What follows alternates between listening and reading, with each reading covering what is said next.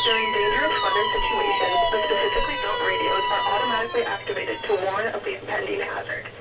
Tests of the warning alarm tone are normally conducted at this time every Wednesday between 11 a.m. and noon. If severe weather threatens the area near the normal test times, the test will be postponed until the first good weather day. This warning alarm tone will be activated for watches, warnings, and selected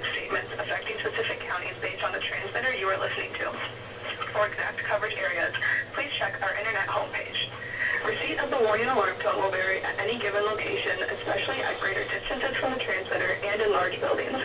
This concludes the weekly warning alarm test. We now return to our normally scheduled programming. Ooh.